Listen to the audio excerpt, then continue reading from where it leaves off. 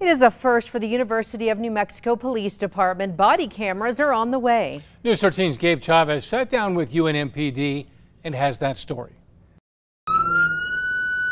A new tool to help campus police in whatever situation they may come across. Not only officers, but also citizens. You really think about it, it'll hold everybody accountable. The University of New Mexico Police Department will soon equip its officers with body cameras. But I know what's probably going to happen uh, once policies in place that most likely every officer that's uh, on duty um, will probably end up wearing a camera from the chief, the top ranks, all the way down to the patrolman. The department says they have been waiting to get body cameras for a while, but funding was one of their largest hurdles. It's fortunately that we were uh, able to obtain uh, the funds for this extra tool uh, to help us in our uh, everyday daily work. According to UNM, they also have over 3,000 surveillance cameras around the campus which help officers respond to calls, be it normal calls for service or if there are escalated situations on campus. The department say these new body cameras will hold officers and the public accountable. When dealing with the public, the public might want to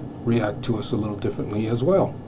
Uh, and again, that's where accountability on both sides come in effect. The department is still working to create policies and procedures for the body cameras and hope to do so once a lieutenant is hired to oversee the rollout. And that will be their sole purpose is to uh, implement the policy, procedure, oversee it, um, understand how it's stored, how to recover records and, and, and stuff like that. The department expects to start utilizing the body cameras by December. Gabe Chavez, KRQE, News 13. In 2020, the state Senate passed a bill which required law enforcement to wear body cams with exceptions for university police.